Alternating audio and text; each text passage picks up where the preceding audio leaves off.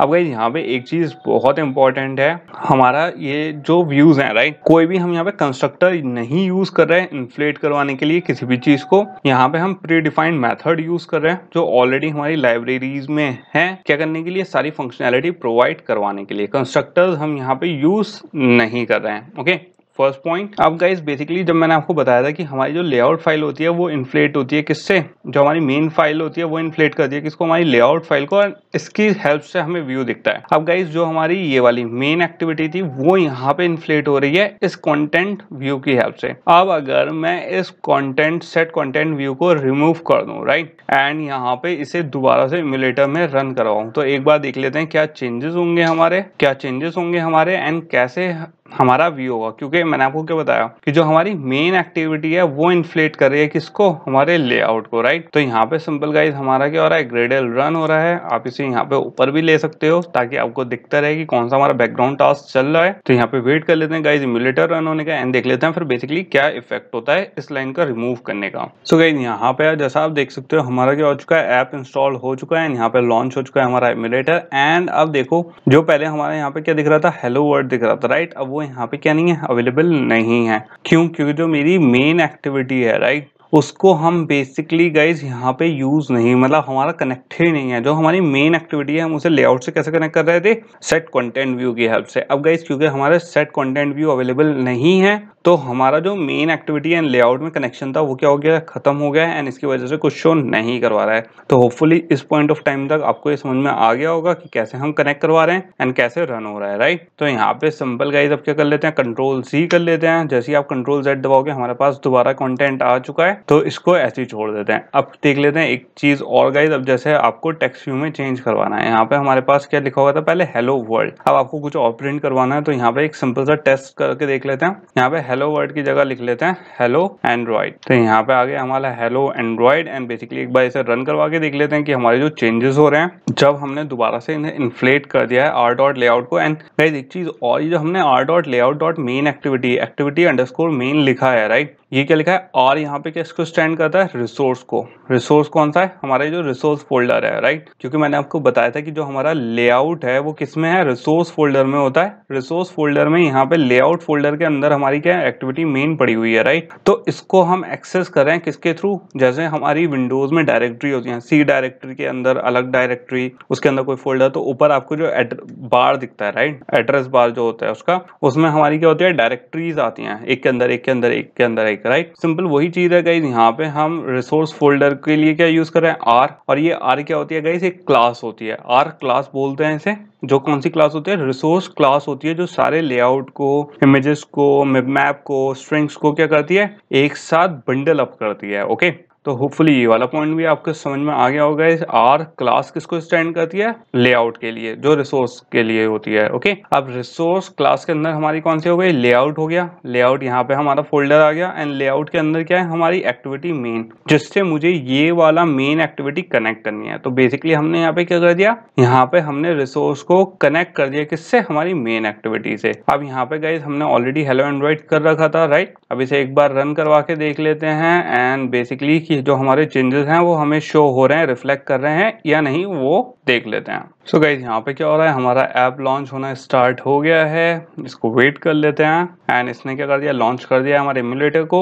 And जैसा आप देख सकते हो गाइज़ यहाँ पे जो हमारा इमुलेटर है, वो आ चुका है। एंड वो क्या शो कर रहा है? हेलो एंड्रॉइड ओके तो यहाँ पे गाइज़ जो हमारा टेस्ट रन था कि एक तो हमने क्या करा? दोबारा से कनेक्ट कर दिया हमने लेआउट को। और क्या कर दिया है यहाँ पे? हेलो एंड्रॉइड प्रिंट करवा दिया है। तो होपफुली गाइज़ यहाँ तक का पार्ट आपको समझ में आ गया होगा। बहुत बेसिक स्टफ़ था, थोड़ा डिटेल में, कुछ लोगों को ये भी लग सकता है कि बहुत डिटेल में रिपीटेटिव था। बट गाइज़ बिलीव मी ये चीज़ें बाद में, अगर आपको अब समझ में नहीं आएँगी तो बाद में क्योंकि कोर्स जब आगे चलेगा? तो गाइज़ बहुत तेज एंड बहुत फास्टली हम आगे बढ़ेंगे। तो अगर किसी को ये वाली बेसिक कॉन्सेप्ट समझ में नहीं आ रहा है तो उसको आगे का कुछ समझ में नहीं आएगा, क्योंकि कॉन्सेप्ट अब हार्ड ही होते रहेंगे ओके तो अब चलते हैं किस पे नेक्स्ट कॉन्सेप्ट जो क्या है, हम कैसे लेआउट चेंज करेंगे एंड कैसे उस पर वर्क करेंगे। सो so अब क्या कर लेते हैं? थोड़ा सा अपना लेआउट चेंज कर लेते हैं। क्योंकि अब आपने इतना तो समझ लिया कि जो हमारी एक्टिविटी है, जो हमारी मेन एक्टिविटी है, ये किससे कनेक्ट कर रही है? हमारे लेआउट को इन्फ्लेट कर रही है राइट यहाँ पे ऐप कॉम्पैक्ट एक्टिविटी के थ्रू एंड यहाँ पे क्या कर रही है? ऑन क्रिएट की हेल्प से उसे एक्सेस कर रही है। ये सब तो गाइज़ आपने समझ लिया। आप क्या कहते हैं? लेआउट चेंज कर लेते हैं। वैसे गाइज़ आगे के लेसन में हम कॉन्स्टेंट लेआउट ही यूज़ करेंगे एंड उसके व्यू ग्रुप्स व्यू ग्रुप्स कौन से हो गए? जो हमारी टेक्स व्यू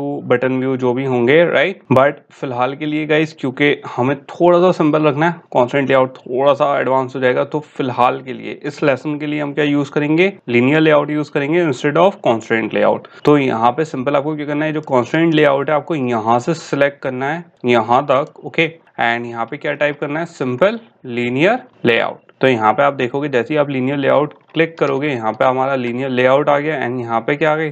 हमारी लीनियर लेआउट का पूरा शो हो चुका है। अब जो ऑलरेडी हमारा एग्जिस्टिंग टेक्स्ट व्यू था इसे मैं पूरा डिलीट कर देता हूँ गाइस अपना क्या क्रिएट करते हैं? स्टार्टिंग से क्रिएट करते हैं नए टेक्स व्यू एंड पूरे उसके रिसोर्सेस ओके अब गाइस एक चीज़ और देखना, आप मैंने जैसे यहाँ पे कॉन्स्टेंट लेआउट डिलीट करा है, यहाँ पे हमारा क्या, ये वाली फ़ाइल क्या हो गई? फेडेड आउट हो गई तो इसकी अब हमें ज़रूरत नहीं है, हम इसे क्या कर देंगे? डिलीट कर देंगे। एंड गाइज़ ये जो X M L N S होती है, ये क्या होती है? एक्स एम एल की name name file name space okay name space मतलब जो यहाँ पे इन फाइल्स को सारी चीज़ों की वैल्यू देती है, चाहे वो टेक्स्ट फ़ाइल हो या कोई सी भी फ़ाइल हो, उसकी जो प्रॉपर्टीज़ होती हैं, वो कौन प्रोवाइड करती हैं? ये फाइल्स आप क्या कर लेते हैं गाइस अब मुझे क्या ऐड करना है? एक बटन ऐड करना है राइट अपने डिज़ाइन में. तो यहाँ पे एक बटन ऐड कर लेते हैं और एक टेक्स्ट ऐड कर लेते हैं ताकि शो हो सके हमें कि क्या, कौन सी चीज़ कैसी है. तो सबसे पहले क्या ऐड कर लेते हैं? एक टेक्स्ट व्यू ऐड कर लेते हैं. तो यहाँ पे मैंने क्या ऐड कर लिया? एक टेक्स्ट व्यू ऐड कर लिया है. एंड क्योंकि रैप कंटेंट जो हमारी विर्थ एंड हाइट है वो गई किसके बेसिस पे? ये क्या होती है? लेआउट विर्थ एंड हाइट मतलब जो टेक्स्ट व्यू है मेरी, उसकी हाइट एंड विर्थ क्या होगी? तो रैप कंटेंट सिलेक्ट कर लेते हैं गाइस फ़िलहाल क्योंकि मुझे चाहिए बस जितना हमारा टेक्स्ट है, उतनी ही स्पेस ले वो ओके एंड यहाँ पे क्या लगा दिया मैंने? क्लोजिंग टैग लगा दिया है। और क्या क्रिएट करना है? मुझे एक बटन क्रिएट करना है तो यहाँ पे क्या ले लेंगे? एक बटन और यहाँ पे इसे भी क्या ले लेंगे? रैप कंटेंट ले लेंगे एंड इसको भी क्लोज कर देंगे। अब गाइज़ यहाँ पे लीनियर लेआउट हमने चूज़ क्यों करा है, क्योंकि लीनियर लेआउट का एक बहुत सिंपल सा लेआउट है, ये सिंपल क्या काम करता है? कि जो हमारे व्यूज़ हैं, उसे या तो हॉरिजॉन्टली प्लेस करता है एक के बाद एक, या फिर वर्टिकली प्लेस करता है एक के बाद एक। तो मुझे फ़िलहाल क्या चाहिए कि, और अगर जैसे अब यहाँ पे आप देख सकते हो, मैंने कोई इसे लीनियर लेआउट को डायरेक्शन नहीं दिया कि किस लॉजिक से हमें व्यूज़ चाहिए राइट तो ये डिफ़ॉल्ट क्या लेगा? हॉरिजॉन्टल लेआउट लेगा। लेकिन मुझे चाहिए वर्टिकल, मुझे चाहिए कि एक के नीचे एक दिखे राइट तो यहाँ पे क्या करेंगे गाइस सिंपल लीनियर लेआउट के अंदर हम क्या प्रोवाइड करवा देंगे? इसे ओरिएंटेशन प्रोवाइड करवा देंगे। एंड इसमें क्या प्रोवाइड करवा देंगे? वर्टिकल तो बेसिकली क्या होगा? जितने भी अब हमारे व्यूज़ होंगे, अगर आप यहाँ पे देखो, मैं स्प्लिट डिज़ाइन में कर लेते हैं गाइस पहले जो था, अगर इससे पहले अगर आप देखो कंट्रोल जेड दबाऊ मैं तो हमारा जो व्यू था वो हॉरिजॉन्टल थे। अब अगर कंट्रोल वाई दबाएँगे आप, दोबारा से हमारा वर्टिकल तो आप देख सकते हो हमारे दो व्यूज़ हैं। एक टेक्स्ट व्यू जो बिल्कुल यहाँ से स्क्रीन से लगा हुआ है। होपफुली आपको दिख रहा होगा इस। और एक क्या ये हमारा बटन व्यू दोनों को अभी अरेंज कर लेते हैं ताकि थोड़ा बेटर लगे। ऐसा करते हैं गाइस साइड में ओपन ही कर लेते हैं ताकि साइड बाय साइड हमें दिखता भी रहे कि क्या चेंजेस हो रहे हैं हमारे। तो थोड़ा छोटा कर लेते हैं। अब यहाँ पे जो हमारा टेक्स्ट भी होता है राइट इसे एक टेक्स्ट भी दे देते हैं। सिंपल तो यहाँ पे मैंने सिंपल क्या टाइप कर दिया टेक्स्ट एंड इसमें क्या प्रोवाइड कर दिया वन अब यहाँ पे गाइज़ मेरा आ चुका है वन ये अभी थोड़ा छोटा है, आपको दिखेगा नहीं तो कोई इशू नहीं अगर नहीं दिख रहा हो तो भी कोई इशू नहीं है। आप खुद सिंपल टाइप करके देख सकते हो। और यहाँ पे क्या प्रोवाइड कर देते हैं? एक टेक्स्ट साइज़ दे देते हैं ताकि थोड़ा सा बड़ा हो जाए। इसे दे देते हैं गाइज़ थर्टी कितना देते हैं? थर्टी एस दे देते हैं। तो होपफुली गाइज़ अब दिख रहा होगा आपको, थोड़ा सा बड़ा हो गया है। एंड यहाँ पे जो हमारा बटन है, इस पे भी मुझे शो करवाना है राइट कि ये बटन क्या है? मुझे नहीं पता कि ये बटन क्या है। तो यहाँ पे भी क्या कर देते हैं? टेक्स ऐड कर देते हैं। क्या?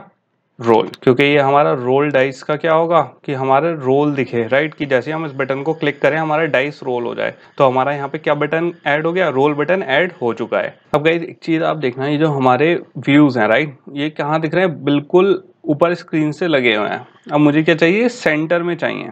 स्क्रीन के बिल्कुल बीच में हो। तो यहाँ पे मैं प्रॉपर्टी ऐड कर सकता हूँ। क्या? लेआउट ग्रेविटी तो यहाँ पे लेआउट ग्रेविटी की हेल्प से हम क्या कर सकते हैं? सिंपल इसे अरेंज कर सकते हैं। यहाँ पे आ गया मेरा layout gravity guys and simple मैं यहाँ पे क्या दे सकता हूँ इसे लेआउट ग्रेविटी में?